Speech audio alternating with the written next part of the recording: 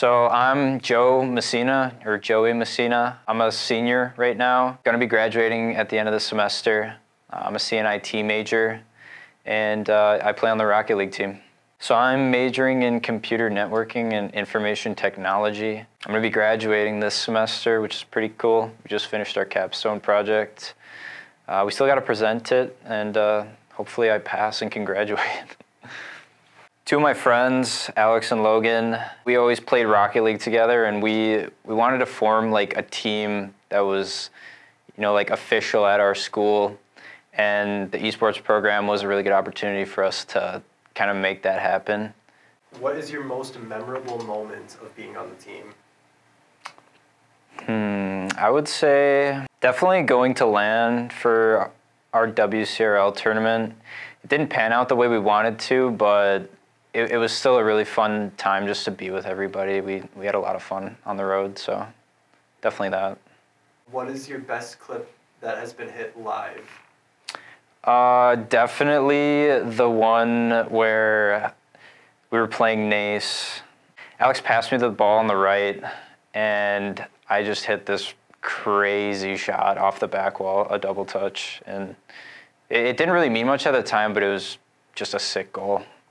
I would say mentally, I'm the strongest when it comes to just like keeping everybody composed and making sure that we're doing the things we need to do. Um, so, as we know, we have, you win 9 and 0 in WCRL or whatever the perfect score is in that. Is there any teams to look out for that would rival you guys?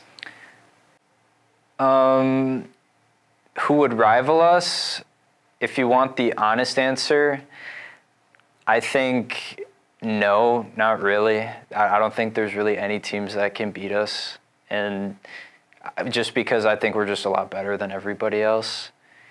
Um, some teams that may be kind of tricky at times. I'd say Eau Claire's been putting in decent amount of hours.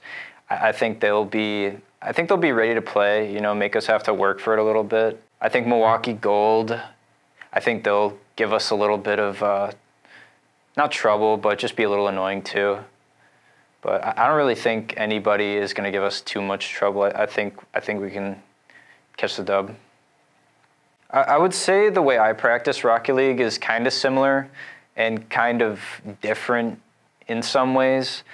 When, when it comes to just getting consistent at the game, it, Rocket League is one of those games where you have to constantly be playing in order to feel good on the game and be doing what you need to do. When I'm not putting in a lot of hours at the time, something I'll do to practice is just kind of sit in free play. It's kind of a common thing that most players do. And I'll sit in there for a few hours just to like just start feeling comfortable on it again.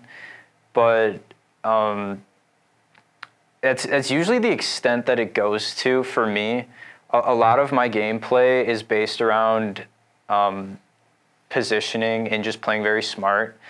And all of those things are, they, they never leave. So, like, it's just really easy to hop back into a game if I have like my mechanics and like I just feel comfortable on the ball because all the rest of the game is just mental at that point and I have that down pretty much. So and then we've kind of tied into it already, but like, how good is UW Stout at esports compared to other schools, Rocket League wise? I would say that over the years, particularly 2020 and 2021, we were putting up results worthy of beating, you know, some of the top teams in the nation.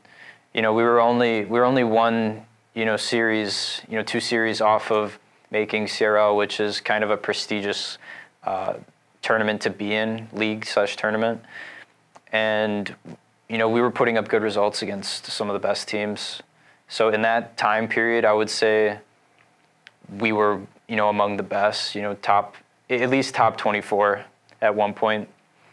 Uh, right now, I would say that we could still beat a lot of the good teams but it's gotten a lot harder because a lot of younger talent has moved into the collegiate scene now. And some of those players are professional players that are playing collegiate as well. and so it's made it a bit tougher to kind of you know push past that barrier of you know getting into that prestigious spot. Um, at Stout, I really hope that the esports program continues to flourish. It's very student driven at the moment, so I'm not I'm not too confident on who's going to come in to you know step up and you know do what needs to be done for it. If I had the ability to you know make a difference in that, I would.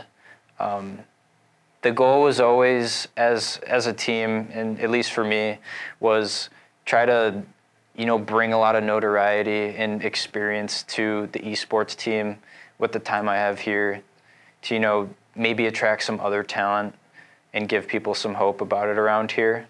So I'm really hoping that they continue to you know put you know more money to it and invest in what they have because you know, a lot of a lot of stout are gamers when it comes to it. it's the majority of stout. So, so I'm Joey Messina, and I am a gamer. Bye, losers.